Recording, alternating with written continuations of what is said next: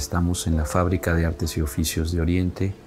Es un centro cultural y una escuela y un parque público al mismo tiempo.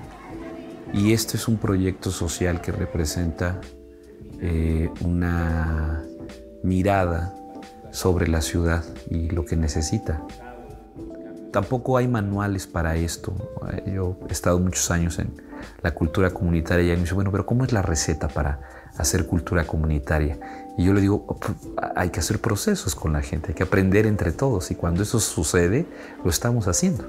Eh, eh, no hay receta, se puede hacer de manera muy rápida, se puede hacer eh, en un lugar físico o se puede hacer en un espacio virtual.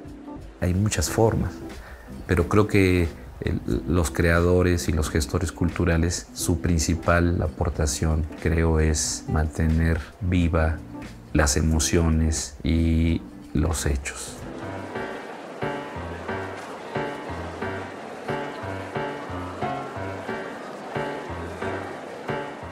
Lo que me motiva del documental S19 es esta reacción de la comunidad ante una catástrofe.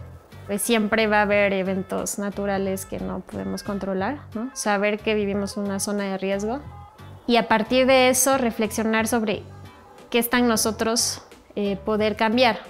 Medidas de prevención, de seguridad y es la parte de haber aprendido de las cosas que salieron mal, mejorarlas y estar en, en constante aprendizaje.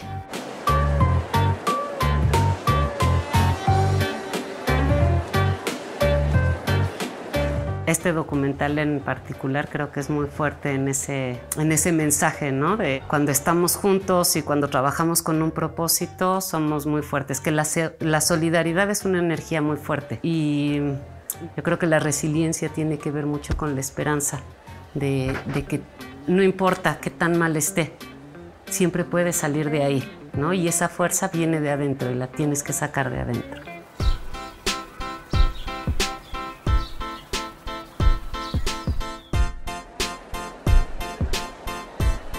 El documental S19 para mí se me hace una buena experiencia, pero al final esto queda como un este como una pintura de Dalí, plasmado, que alguien más adelante, 20 años más, llega a ver este documental y que diga, no, wow. Lo que le podemos aportar a toda esta parte del mundo sería que aquí no tenemos este, distinción, entonces eso es una buena lección de unión. Creo que, que estaría mejor si no hubiera banderas, ¿no? no hubiera fronteras. Ojalá haya más producciones, ¿no? que haya más para que sigamos en constante crecimiento. ¿no? Y como les comento, muchas felicidades al Faro de Oriente por la oportunidad que nos da.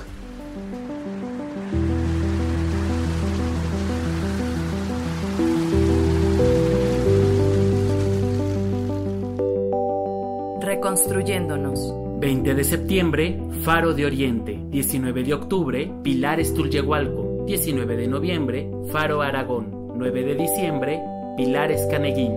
Consulta cartelera en s19project.org.